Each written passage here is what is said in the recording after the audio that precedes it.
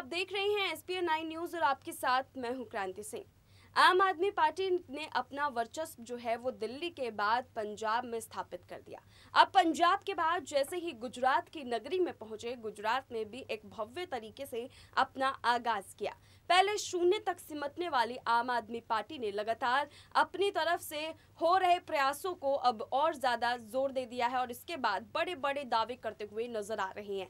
सिर्फ़ दावे और वादों के पीछे एक और नई रणनीति इस वक्त आम आदमी पार्टी लेकर के चल रही है, जो आज के इस खास रिपोर्ट के ज़रिए हम बात करेंगे। लेकिन उससे पहले हम आपको बता दें कि इस बार दावों के पिटारों में एक और अहम चीज़ जो है, वो भी शामिल है। और वो है सर्वे रिपोर्ट। जी हाँ आपको बता दें कि गुजरात के सर्वे रिपोर्ट जो है, वो आम आदमी पार्टी ने यहाँ पर पेश किया है और उसके बाद जो दावे वहाँ पर किए गए हैं और सीटों का खुलासा किया गया है, उसे देख करके आप भी दंग रह जाएँगे कि आखिरकार कैसे आम आदमी पार्टी जो है, इतने ज़्यादा के अंतर से भाजपा को टक्कर देने की कोशिश इस बार कर रही है। पिछली बार देखा गया था कि निन्यानवे सीटों पर भाजपा ने अपनी पकड़ बनाई थी, लेकिन उसके बाद अब धीरे धीरे जो है भाजपा सिमटती जा रही है। कहीं पर कांग्रेस भारी पड़ रही है तो कहीं पर आम आदमी पार्टी।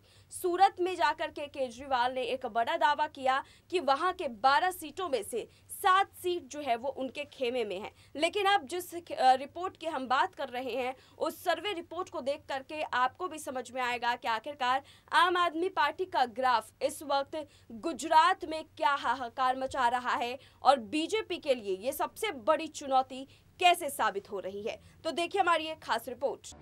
गुजरात में बीजेपी सिमट सकती है और आप पार्टी को काफ़ी सारे सीट मिल सकते हैं। जी हाँ आपको बता दें कि आम आदमी पार्टी ने दावा किया है कि उसके इंटरनल सर्वे में पता चला है कि वो गुजरात विधानसभा चुनावों में लगभग अंठावन सीटें जीत सकती है। आपके प्रदेश प्रभारी डॉक्टर संदीप पाठक ने सोमवार को गुजरात दौरे पर पहुँचे थे। उन्होंने बताया कि ये सर्वेक्षण पार्टी की अपनी एजेंसी के माध्यम से वैज्ञानिक तरीके से किया गया।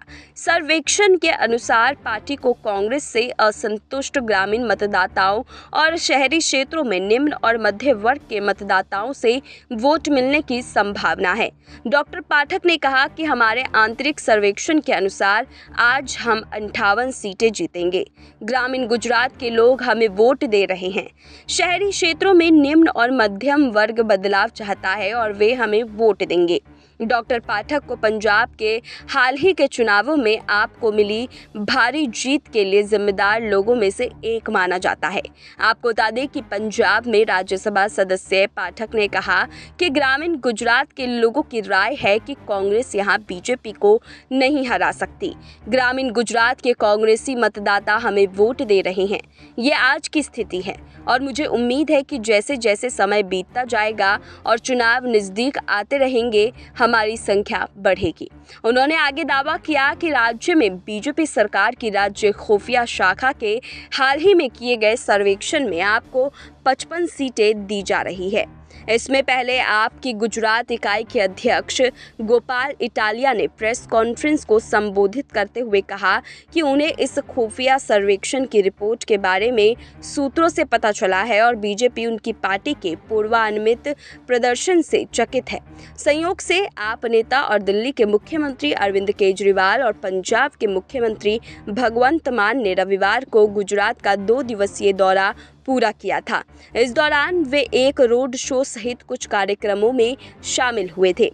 सोमवार को आपके राज्य प्रभारी बने पाठक ने कहा कि उनकी पार्टी यहाँ शीर्ष स्थान के लिए लड़ रही है, क्योंकि लोग बीजेपी से बदलाव चाहते हैं, जो पिछले 27 वर्षों से यहाँ सत्ता में हैं। डॉक्टर पाठक ने दावा किया कि लोग जानते हैं कि बीजेपी को केवल आप ही हरा सकती है, कांग्रेस नहीं। कांग्रेस वर्तमान में राज्य की एक सदस्यीय विधानसभा में मुख्य विपक्षी दल है। आम आदमी पार्टी की तरफ़ से यहाँ पर नए नए वादे नए नए इरादे और नए नए दावे के साथ में हड़कम मचाते हुए बीजेपी खेमे को बर्बाद करने की ठान ली है। अब देखना यह है कि उन्हीं के संसदीय क्षेत्र, उन्हीं के गढ़ में क्या बीजेपी का हार निश्चिंत है? क्योंकि देखिए, बीजेपी के लिए ये जगह जीतना बेहद ही ज़्यादा ज़रूरी है, क्योंकि ये सिर्फ़ और सिर्फ़ एक जीत की लड़ाई नहीं है आन बान शान की भी लड़ाई नज़र आ रही है। अब ऐसे में एकाएक अगर उनके गढ़ में किसी और पार्टी की जीत हो जाती है तो उस पार्टी में हारना सबसे बड़ा स्टिग्मा लग सकता है बीजेपी के ऊपर, जो कि दूसरे राज्य को काफ़ी ज़्यादा प्रभावित करेगी। ऐसे में कई और सारे मसले जो हैं, वो इस वक्त आम आदमी पार्टी के सामने आ सकते हैं। आम आदमी पार्टी इन मसलों से कैसे निपटेगी और इसका जवाब जो है वो कैसे देगी, ये किसी को नहीं पता। लेकिन एक बात तो बिल्कुल तय है कि आम आदमी पार्टी ने अपनी कमर कसर जो है, वो पूरी कर रखी है, ताकि कुछ भी हो जाए, जीत मिले ना मिले, लेकिन वहाँ पर जीत के रास्ते ज़रूर खुल जाए। इसीलिए वो दावा करती हुई नज़र आ रही है कि आगे आगामी चुनाव में एक अच्छा प्रदर्शन करते हुए नज़र आएगी। फ़िलहाल हम आपको बता दें कि बीजेपी को पुराने चुनाव में जो है निन्यानवे सीटें मिली थी और बहुमत के लिए गुजरात में सिर्फ़ बानवे सीटों की ज़रूरत होती है। ऐसे में बहुमत का भी आंकड़ा बढ़कर के जो है बीजेपी को वहाँ वोट प्रतिशत मिले थे। ऐसे में बहुत बड़ा दबाव जो है आम आदमी पार्टी के ऊपर है कि आखिरकार कैसे वो इस चुनावी माहौल के बीच में अपना दमखम दिखा पाएगी। और इस चुनावी माहौल के बीच में जो सरगर्मी तेज है, क्या उसमें अपना जीत का परचम लहरा सकती है? क्योंकि चारों तरफ़ एक चुनावी माहौल बना हुआ है, लेकिन उस चुनावी माहौल से पहले एक बड़ा सवाल जो है, वो यही खड़ा हो रहा है कि जहाँ बहुमत से भी ज़्यादा बीजेपी की पकड़ है, आखिरकार वहाँ पर शून्य से शुरू होने वाले आम आदमी पार्टी इतना बड़ा दावा कैसे कर सकती है और कैसे बड़ी जीत पा सकती है। हमारे इस प्रोग्राम के ज़रिए हमने आपको बताने की कोशिश की कि इस वक्त कैसे गुजरात में जो समीकरण बन रहे हैं, उसके बीच में भाजपा के लिए कितनी बड़ी चुनौती है और वहीं दूसरी तरफ़ आम आदमी पार्टी के लिए जश्न का माहौल जो है, वो कैसे बन रहा है? जमीनी स्तर पर आम आदमी पार्टी अपनी खुशियाँ मनाने में कैसे जुटी हुई है, वो हमने आपको दिखाया।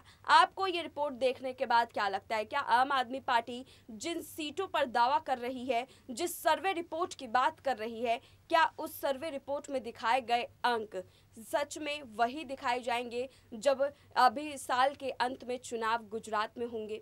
आप अपने तर्क जो है हमें कमेंट सेशन में ज़रूर बताइएगा। फ़िलहाल, हमारे आज के इस खास प्रोग्राम में बस इतना ही। देश, दुनिया की तमाम बड़ी खबरों के लिए देखते रहिए एस न्यूज़